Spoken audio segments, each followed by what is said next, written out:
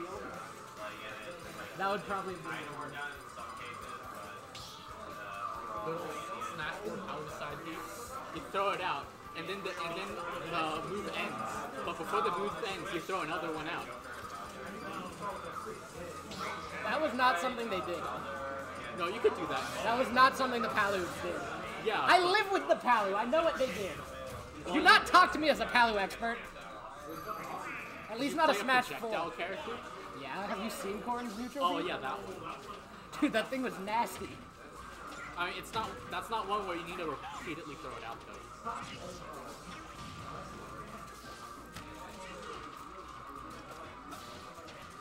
So what I'm gonna be interested is the offstage game. I want to see how Kazuki works his way. That's another thing. Kazuki has been missing text all day. Will Plum capitalize? Oh, he used his air dodge early. Oh, no jumping that whole string.